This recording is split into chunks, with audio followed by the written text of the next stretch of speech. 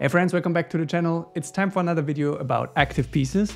And this time I want to show you how I use ChatGPT to create specific workout plans based on my previous workout history. Because I'm often a little bit lazy and I don't push myself as far as I should, but ChatGPT now has my back, like literally. On each workout day in the morning, I get an email from Activepieces with a specific plan that I just need to follow. So let me show you how to make it work. Now, before we jump into Activepieces, let's actually build out the workout tracker because that's an important part because it captures previous workout performance that can then just be fed into ChatGPT to come up with a specific training plan. So I go into my Google Drive and let's create a new sheet. So I call this one, let's make this a little bit bigger. So I call this AP workout. And right away, what we do is we go to tools and say create a form. It might take a second. And if we check back here, we can see that a new form has created in the very same directory. And the form is just a nicer way to capture my workout. So let's go there. Here, I will track the workout date. So we make this a date, uh, it's required, and we add a new field. And this is the actual exercise. And that could be a free text field, so you could enter whatever you want. But I usually try to keep this as a dropdown, and then I have something like this. So there's barbell, bench, press, let's see, bench, press, and I might have leg press, deadlift. So you get the idea and you can fill this up however you like. I just want to have this in there because it's much easier to just select an exercise rather than typing it out. So I make this required and I add the field for the actual sets. So I make this a paragraph, I also make it required, and that's pretty much all, right? So this is the whole form. It has a workout date, the actual exercise, and the sets. So let's take a look at what this looks like. Um, so here we are. I can, for example, capture today, 13th of November.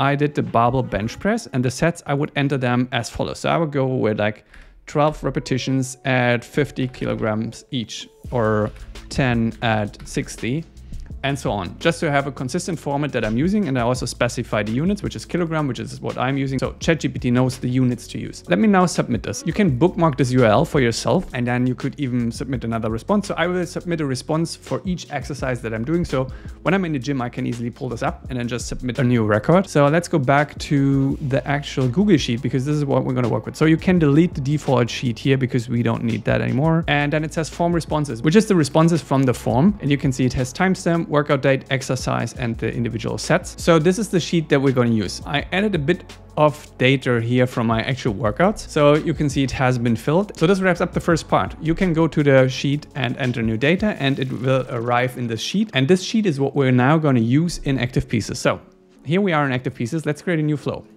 and we will start from scratch. I usually have this on every day that I'm working out. Let's make it every day at, so I usually do 5 a.m. So it's one of the first things that I look at in the morning. So I specify the time zone just to make sure that it respects the time zone that I'm in most of the time. Run on weekends, yeah, that's just fine. And then we add the first step. And the first step is actually reaching out to our Google form. Let's go to Google and then we go with the Google Sheets. So what we're going to do is we say find rows. Now I have to specify the connection and I have one created here already, so I can use that. Then I need the actual spreadsheet, so it's loading. And now if I go in there, we can see it says AP workout, which is, just going back here, which is just the sheet that I want to use, right? It says AP workout. So, and the sheet is the form responses. So sheet refers to this is down here and there's just one sheet. So we're going to use that. Now let's go back um, and we have to specify the column. I usually just go with the timestamp and here we could specify a search value. But if we leave that empty, we will get all the rows. I will limit them to just 1000 because that's usually enough. Let's test that step actually. So we can see this is working. This is how I get our workout data. It's a JSON array, right? So you, you can see this is the first row, which is timestamp, workout date, exercise, and sets, right? This just corresponds to what you can see up here.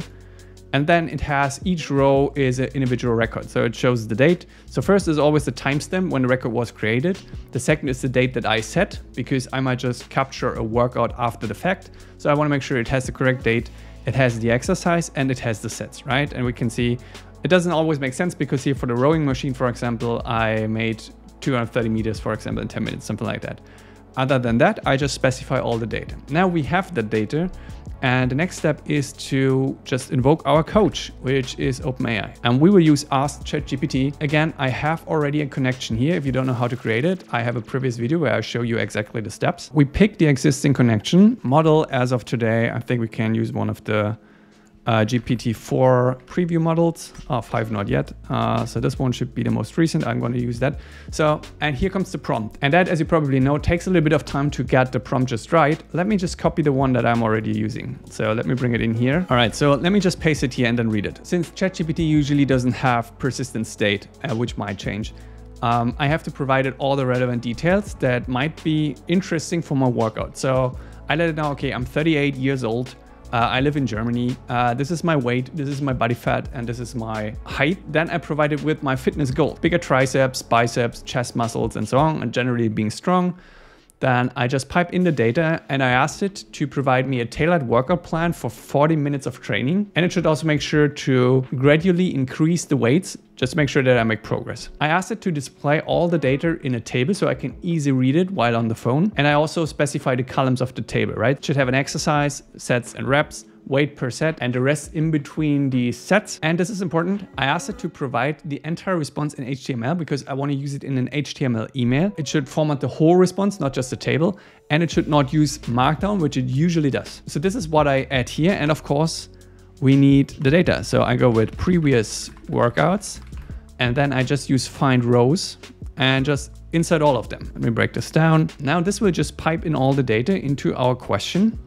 And what I usually also like to do is um, doing something like this. You are a personal coach uh, suggesting workout plans based on my, let's, let's do fitness goals something like this. Yeah, we, we can test this in a second, but I want to show you the actual email. So let's add the final step. I'm using Gmail. Again, I have a connection for that in place.